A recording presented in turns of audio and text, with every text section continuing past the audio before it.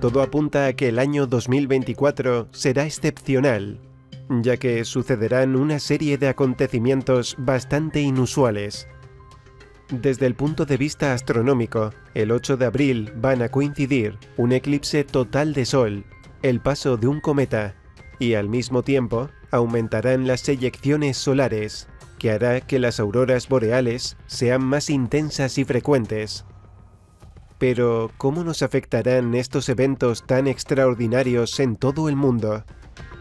En el eclipse total que se producirá el 8 de abril, la luna bloqueará casi toda la luz del sol, lo que generará un gran espectáculo natural único. En México cruzará varios estados poco después del mediodía. El evento durará unos cuatro minutos y medio, los países de Centroamérica apreciarán entre un 20 y un 40% del fenómeno. Y en Estados Unidos, el eclipse será total en varios estados, desde el sur hasta el noroeste. Pero este no será el único evento. Otro gran espectáculo coincidirá en el mes de abril. Un cometa pasará cerca de la Tierra, cuyo tamaño se compara al del monte Everest fue visto por primera vez en el siglo XIX por los astrónomos Jean-Louis Pons y William Brooks. Y según se vaya acercando al Sol a finales de marzo, aumentará su brillo. Aunque será en los últimos días de abril cuando proyectará su mayor luminosidad. Incluso se podrá ver a simple vista al caer la noche cerca de Júpiter. Además, al coincidir con el eclipse el día 8 de abril, se podrá ver mucho mejor y será un espectáculo doble. También desde el continente americano se podrá observar el 2 de octubre un segundo eclipse solar, que en esta ocasión será anular.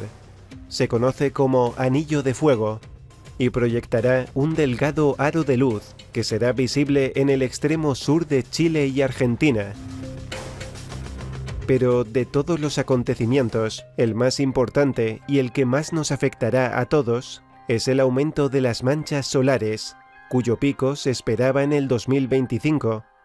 Pero nuevos datos apuntan a que las eyecciones solares serán más elevadas este año 2024. A lo largo de la historia, las manchas solares han sido uno de los grandes misterios del Sol que ha traído de cabeza a los científicos y en la actualidad poco ha cambiado. Siguen sin conocer por qué razón el campo magnético del Sol aumenta y disminuye. Se sabe que el Sol no solo influye en la temperatura de la Tierra y en las auroras boreales, también sus frecuencias elevan nuestra conciencia y vibración. Además, se comunica con las células de nuestro cuerpo para transmitirlas cómo sanarse a sí mismas. Y lo más importante, nuestro astro está ayudando en el despertar de la humanidad, enviando información a nuestra psique. Antiguamente ya sabían de la existencia de las manchas solares en el siglo IV a.C. El astrónomo chino Kan Te descubrió este fenómeno, considerándolo un signo de mal augurio. Tuvieron que pasar varios siglos para que Galileo pudiera ver las manchas solares a través de un telescopio, aunque no se empezaron a estudiar hasta el año 1755, y desde entonces se han registrado 24 ciclos solares de 11 años cada uno. Oficialmente, el Sol entró en un nuevo ciclo, el número 25, en septiembre de 2019, y durará aproximadamente hasta el año 2030. Según va finalizando un ciclo solar, el número de manchas solares tiende a disminuir hasta que desaparecen por completo, y eso significa que son periodos de calma para la Tierra. Cuando el magnetismo se acerca a su punto máximo, entonces la actividad del Sol aumenta, produciéndose enormes explosiones de energía, que es lo que llaman erupciones solares. Una tormenta geomagnética o tormenta solar es una perturbación temporal de la magnetosfera terrestre causada por una onda de choque de viento solar y una expulsión de masa coronal que interactúa con el campo magnético terrestre. Desde tiempos muy remotos, Nuestros antepasados han mirado a los cielos porque sabían que el Sol, la Luna y otros astros influían no solo en las cosechas, también en nuestras vidas. Existe la creencia que la astrología occidental tiene sus orígenes durante los tiempos precristianos, en Babilonia y en el antiguo Egipto. Sin embargo, anteriormente es mencionado en el libro de Enoch, donde dice que fueron los ángeles caídos quienes enseñaron a los humanos la astrología. En las culturas antiguas era considerada una ciencia, como la astrología china, la hindú, la occidental, también en América las civilizaciones mexicanas, aztecas y toltecas contaban con astrólogos. Existe un importante tratado astronómico del siglo I al II conocido como Almagesto, de Claudio Ptolomeo, químico, geógrafo y matemático griego que vivió y trabajó en Egipto. Los gobernantes tenían cerca de ellos a los mejores astrólogos, pero el emperador Constantino I, al imponer el cristianismo, prohibió, entre otras cosas, la astrología. Sin embargo, a finales de la Edad Media recuperó su reputación y desde el Renacimiento hasta el siglo XVII fue aceptada como una ciencia. Muchas culturas como la hindú, la china, la maya, entre otras, daban mucha importancia a los eventos astronómicos, por lo que desarrollaron elaborados sistemas para predecir los eventos terrestres basándose en las observaciones de la bóveda celeste. Los principales astrónomos del siglo XVI al XVII como Galileo Galilei, Tycho Brahe y Johannes Kepler, ejercían de astrólogos en las cortes reales de sus países. Pero, ¿qué nos muestra la posición de los astros para 2024? Parece ser que este año no va a ser tranquilo, habrá mucha actividad. Los eclipses están relacionados con los conflictos armados.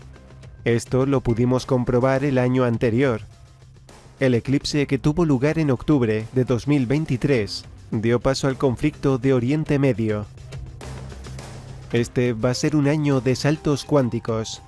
La gente verá el mundo de una forma totalmente diferente a como la ha percibido hasta ahora. Hay quienes no querrán dar ese salto, otros sí. Las élites utilizarán todos los medios posibles para que este cambio se retrase o no se lleve a efecto, lo hemos visto durante los tres últimos años, y seguirán intentándolo, pero lo cierto es que no está en sus manos. Todo estará magnificado, tanto lo bueno como lo malo se intensificará a su máximo exponente. El Sol se comunica con cada uno de nosotros. Va a entrar información en nuestros sistemas sociales, e incluso en nuestra psique y en nuestra conciencia algo que nos hará cuestionarnos la realidad en la que vivimos, porque veremos todo desde un ángulo totalmente diferente. Según las cartas astrales, las mentiras saldrán a la luz. Este año habrá cambios muy importantes, sobre todo en nuestra forma de pensar. Se descubrirán muchas falsedades que creíamos ciertas, que impactará fuertemente en todos nosotros. Si miramos las predicciones astrológicas, veremos que Plutón está en Acuario, es decir, entramos en lo bueno, en lo acuariano, el signo del humano total que nos hace desear ser mejores. Habrá cambios importantes en toda la Tierra en los próximos años, que traerá grandes convulsiones de todo tipo. Estamos viviendo una época de cambio. Hay desestabilidad energética, y eso nos hace sentir que hay caos a nuestro alrededor. Sin embargo, todo se está ordenando de una forma más equilibrada. El caos es una forma de orden que traerá cambios. Los astros anuncian que llegará información a nuestra psique como colectivo, que producirá un cambio brutal en la forma de pensar de muchos seres humanos. Cada vez más gente se está dando cuenta de que somos ciudadanos del mundo que no pertenecemos a ninguna nación en concreto, porque los acontecimientos que suceden en un punto repercuten al otro lado del planeta. Lo que pasa en nuestro planeta, sea bueno o malo, nos afecta a todos. Los astros del firmamento nos muestran que estamos en pleno proceso de equilibrio, y el Sol nos está enviando la información que necesitamos, porque los cambios que se avecinan para estos próximos años son brutales.